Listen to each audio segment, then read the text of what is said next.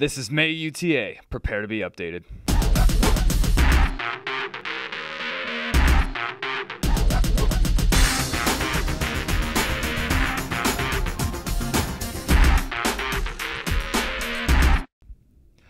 For this episode of Drill Weekend Update, we're here to talk about the sensitive topic of mental health. May is National Mental Health Awareness Month, and we're here to talk with the Director of Psychological Health, Jennifer Matthews. My name's Jennifer Matthews. I'm the Wing Director of Psychological Health for the state of Florida. Sure. I am generally based at the 125th um, Fighter Wing in Building 12 at the Airman Family Readiness Center. I am usually here from 7 until 1630 dealing with divorce to having struggles with like alcohol issues to PTSD, any kind of acute stress disorder, anxiety, depression, um, you, you name it, I, I help with it. Consultation is confidential. The only exception to that is if it's a duty to warn situation, then I want to get uh, further help for the person that I'm talking to. When you come to me, it's best if you can come when it is um, just starting, you know, in the surface. When you start to feel off or it's just not right or you're starting to have those moods or behaviors that seem to be starting to kind of boil to the surface and if you can be proactive and take action before it becomes a big problem, before it starts affecting you at work, at home, and is to nip it in the bud and, and really look for help so that we can start working on it now. Other resources beside myself is you got um, Family Readiness, but you've got Military One Source, which is 24-7. It's 1-800 number. You can call it anytime. They're even open on Christmas Day. Um, so you can call them after work when it's your convenience. You can also talk to the chaplains. They're also available to chat with. Just call um, Command Post and they'll get you connected with the chaplain if you're not here on drill they get the opportunity to kind of first get that burden off and then that's a sense of relief in itself and then to feel like somebody's there helping them every step of the way. To help ensure our airmen are fit to fight, I'm here to give you your fitness tip of the month. When you're at the gym and you want to lift some weights, first things first, make sure you've taken off all rings, watches, and any jewelry you might have on. Then, make sure you have your feet planted to give yourself a solid base, because that's where you're going to get the most power. Now, what's most important is never lift more weight than you can handle, especially if you don't have a spotter.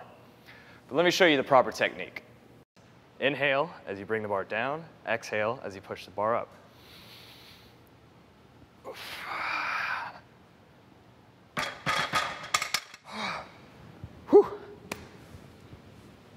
And that is proper technique. Now, always remember to warm up before moving up to your max weight. And stay tuned for future fitness tips of the month.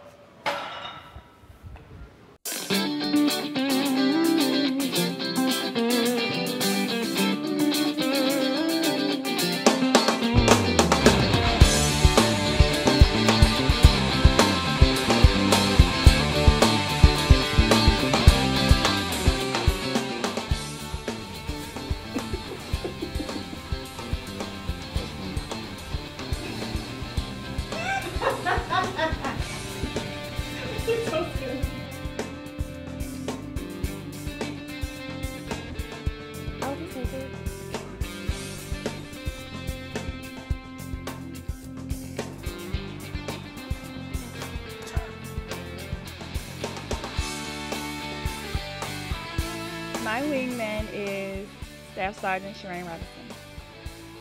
My wingman is Senior Airman Torres. He also works with me in MSG CSS. My wingman is Christopher Stone. Airman Benson. If I was stressed out, I would go to my coworkers at work. I'm a corrections officer, and we're all trained to deal with mental health issues. So I'd probably go to one of them. If I had problems, I would probably go to a closest friend, relative. If I had any issues, I would feel comfortable speaking with the chaplain. First, I would kind of figure out what they're struggling with, maybe ask them a couple of questions so I could direct them in the right way. Maybe some family issues, maybe the chaplain, um, you know, supervisor kind of see it so I just don't give them a generic answer. If I knew someone who was struggling, I would recommend that they talk to me. Because I know a lot of outside resources um, as far as like the agencies and institutions out and about in Jacksonville. Well, I'm pretty good at listening, so I would recommend them, you know, talking to me if they were comfortable talking to me, or, you know, like I said, uh, the first sergeant or someone that they're close to. Yo, dude, what's up? Are you coming to the game this weekend? She says, Hey, Miss Pearl, you famous now. You smell like roses and suck at handstand walks. Have a great, have a wonderful weekend. Hey man, what should I buy? Hot dogs or sausages? It makes me feel good to get a text during the month because it shows good wingmanship that he's thinking about me, making sure I'm okay.